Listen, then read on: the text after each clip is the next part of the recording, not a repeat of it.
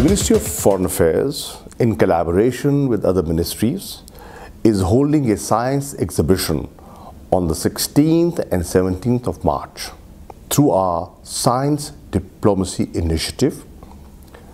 We are inviting you to join us on the 16th and 17th of March and make this exhibition a success and make us proud of Pakistan.